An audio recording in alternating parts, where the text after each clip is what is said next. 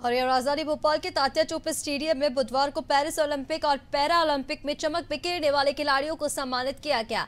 मुख्यमंत्री डॉक्टर मोहन यादव ने उत्कृष्ट खिलाड़ियों को नियुक्ति पत्र प्रदाय समारोह में ओलंपिक और पैरा ओलंपिक पदक विजेताओं का सम्मान किया। कार्यक्रम में उज्जैन के मलखम खिलाड़ी राजवीर सिंह को भी सम्मानित किया गया। अनादि टीवी से खास बातचीत में राजवीर सिंह ने कहा कि मलखम खेल मिट्टी से जुड़ा हुआ है, इसलिए हम सबसे पहले अपने मिट्टी का सम्मान करना चाहिए। वही राजवीर के माँ ने भी क्या कुछ कहा, आइए आपको सुनवाते हैं।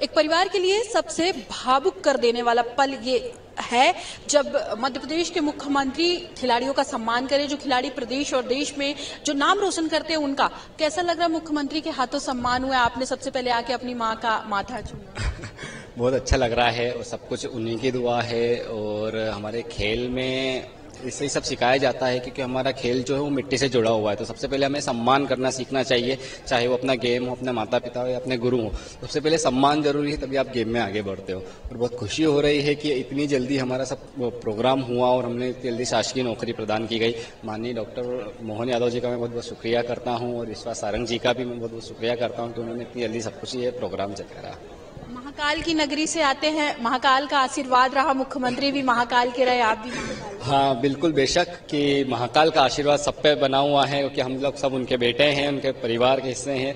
तो ऑफकोर्स उन, उनका आशीर्वाद था तभी जाके सब कुछ सफल हो पाया है। आज मुख्यमंत्री जी भी हमारे उज्जैन के ही हैं तो आज वो मुख्यमंत्री बने तो महाकाल के आशीर्वाद से ही बने।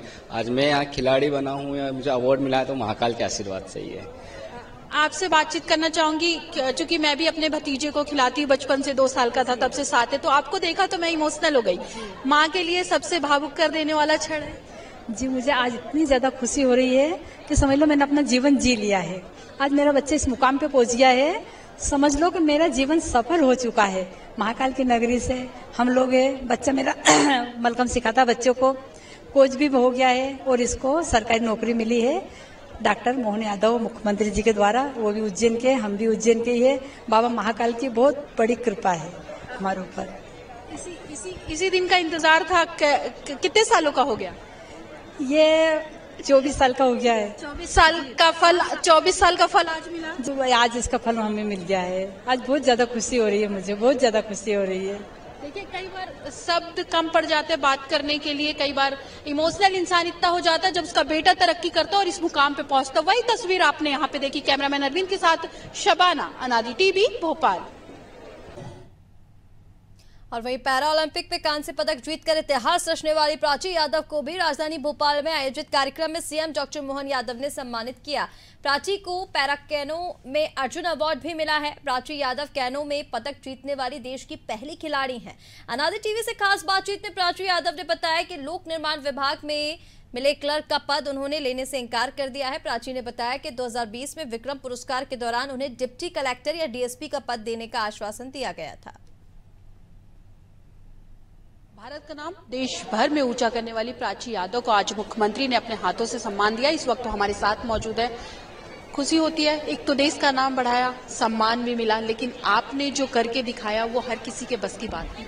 जी, बिल्कुल मैम, मैं अपने गेम में ऐसी पहली खिलाड़ी थी जो पहली बार वर्ल्ड कप में मेडल लाई थी। पहली ऐसी खिलाड़ी थी जो एशियन गेम्स में गोल्ड मेडल लाई थी। पहली ऐसी खिलाड़ी है जिसको अर्जुन अवार्ड मिला था पैरा कैनोइंग में। तो काफ़ी अच्छा लगता है जब आप मेहनत करते हैं और आप पहले हिस्ट्री क्रिएटर होते हैं, उसके बाद आपको उसका रिवॉर्ड मिलता है, आपको सम्मानित किया जाता है तो बहुत खुशी होती है। और ऐसी आगे हमको अगर सपोर्ट मिलता रहेगा तो हम और देश का नाम ऊँचा करते रहेंगे।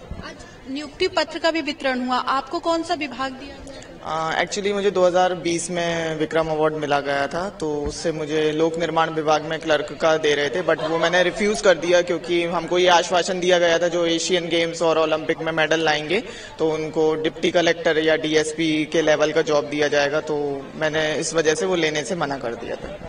अब आगे की क्या प्लानिंग रहेगी? देश का भी नाम और प्रदेश का भी नाम ऊँचा करना तो अब आगे और मेहनत करनी है गोल्ड लाना तो उसके लिए क्या आ, मेरा इस टाइम मेडल कंफर्म था मैम बट अनफॉर्चुनेटली मेरा जो लेफ़्ट आई है उसमें मेरा इन्फेक्शन हो गया मेरा विजन पूरा चला गया था। पाँच महीने से मैं प्रॉपर प्रैक्टिस नहीं कर पा रही थी काफ़ी पेन में थी। अब इंजरी के आगे तो एक खिलाड़ी कुछ कर भी नहीं सकता है बट आई होप ये जल्दी से रिकवर हो और नेक्स्ट जो पैरालंपिक्स है उसके लिए हम तैयारी करेंगे लॉस एंजलिस के लिए। आप जिस भी मुकाम पे हैं आपके पीछे बैक में अगर मैं चार नामों का ज़िक्र करूँ तो कौन कौन है आ, एक तो मेरे हस्बैंड है जो मुझे हमेशा गेम में सपोर्ट करते हैं, मेरे पापा हैं, जिन्होंने मुझे यहाँ पे पुश किया था जब रिश्तेदार मना कर रहे थे कि ये क्या करेगी और कैसे करेगी, तब वो मेरे पीछे खड़े थे। मेरी बहन जो आज इस दुनिया में नहीं है, जनवरी में वो खत्म हो गई थी कैंसर से वो। ये तीन नाम मेरे और मेरे जो कोचेस आज आज वो रिश्तेदार जो बातें बनाते थे वो बात करते हैं। बिल्कुल वो करने की कोशिश करते हैं बुलाते भी है बट मैं उनको इतना भाव नहीं देती हूँ। बट ठीक है आप अगर डाउन टू अर्थ रहेंगे तो ज़्यादा अच्छा रहेगा। जैसा उन्होंने आपके साथ किया आपको वैसा व्यवहार नहीं करना चाहिए तो सबसे मिलजुल के रहना चाहिए। बहुत शुभकामनाएँ प्राची हमारी आपको कि आप भविष्य में मध्य प्रदेश का और देश का नाम रोशन करें और आपकी उम्मीदें हैं जो डिप्टी कलेक्टर और डीएसपी बनने की, वो भी सरकार जो है जल्द से जल्द पूरा करे। कैमरामैन अरविंद के साथ शबाना, अनाजी टीवी, भोपाल।